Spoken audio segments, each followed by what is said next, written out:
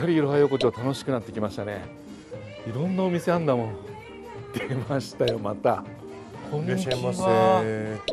台湾茶って初めてなんですけど普通のお茶とやっぱ違うんですか？ここはウーロン茶です。ウーロン茶。はい台湾茶。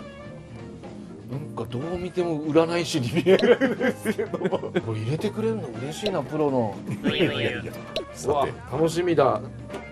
これがこれが1戦目です。でこれを1杯目の一番最初だけ。マジシャンに今度見えてきた。マジシャンに見えてきた。お。花をここに入れて香り楽しんでみてくださいあーすごい。いい匂いですね。であとはこれはどうぞこれをお召し上がりください。あこれが渋いんです。よーあー。はいはい今渋いです。今白くなってきましたね。3戦目から渋さ取れるんです。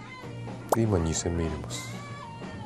すぐ飲んじゃっていいですか、はい。どうぞあちょっとまた渋くなりました。違うお茶になったのかなって感じがします。そう変化を楽しむ。この3戦目で渋み取れるはずです。熱いところでいっちゃった方がいいです。もう何でも。あやっぱ残んないね。ぐっと飲みやすくなるんです不思議だお茶って